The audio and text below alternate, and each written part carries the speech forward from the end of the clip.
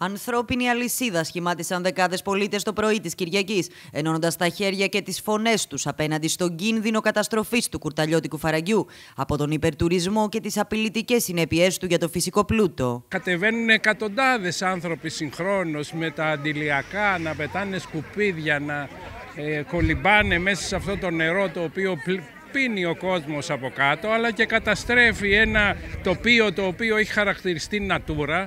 Ας υπάρχει ένα, μια, ένα εισιτήριο εισόδου και ας είναι δωρεάν αλλά να ξέρουμε πόσοι μπαίνουν, πόσοι βγαίνουν, πόση ώρα κάθονται, τι κάνουν. Απαγορεύεται να κάνουν πράγματα τα οποία κάνουν, μετακινούν πέτρες, μπαίνουν μέσα στο νερό, κολυμπάνε με αντιλιακά. Τα νερά βρωμίζονται συνεχώς. Εγώ είμαι εδώ γιατί ανήκω εδώ και θέλω το, η ζωή μου να είναι καθαρή, να πίνω το νεράκι του Θεού και να ζω. Έχει να κάνει με το οικοσύστημα, έχει να κάνει με τη,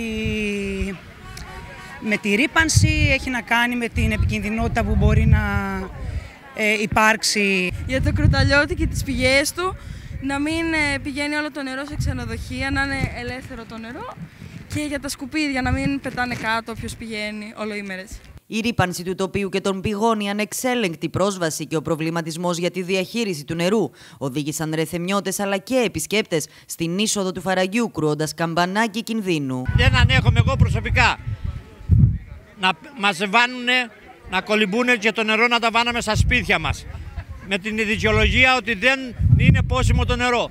Ε, τότε γιατί μας βάνουν νερολόγια, γιατί τα βάνουν εντός οικισμού, κάνει εντός οικισμού και δεν έχει καν η κοινότητα σωμάτων νερό.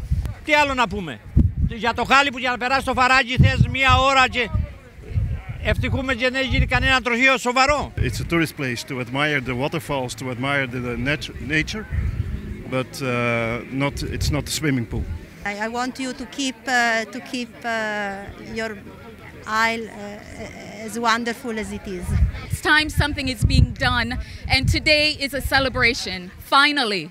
Έχουμε μιλήσει με τη Διεύθυνση Υδάτων, έχουν πει ότι θα έρθουν για έλεγχο. Έχει περάσει 60 ημέρες συν από την πρωτοκόλληση του αιτήματος και ακόμα περιμένουμε κάποιον να έρθει για να διαπιστώσει ότι δεν υπάρχουν υδρόμετρα. Κατά κελταίο και παράνομο. Στο πλευρό των πολιτών, στηρίζοντας τον αγώνα τους, βρέθηκαν φορείς της λαϊκής εισπήρωσης. Εκεί που οδηγείται και το, το πράγμα είναι ουσιαστικά να παραδοθεί το νερό σε ξένα συμφέροντα, να γίνει εμπόρευμα και να πούμε το νερό νεράκι. Πουθενά δεν προβλέπεται ε, μέτρα προστασίας για αυτό τον βιότοπο, τον καταπληκτικό βιότοπο που ανεξέλεγκτα μπαίνει ο καθένας ό,τι θέλει κάνει.